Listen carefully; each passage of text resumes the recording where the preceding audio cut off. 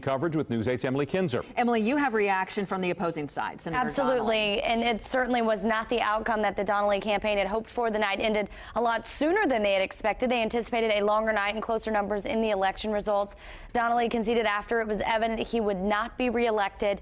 He's held the Senate seat for six years and said he's so thankful for the time he's had to serve the people of Indiana.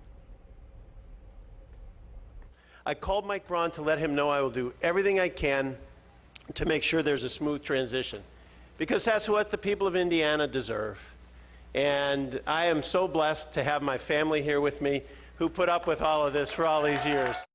His concession speech was around 6:30. He added that if anyone ever needed help with anything, to contact him. He says he considers himself to be the luckiest guy in the world. On both sides of the party lines, it was a message of unity after what we all know has been a pretty bitter last few months of negative campaign ads. You guys. Emily, thank you. The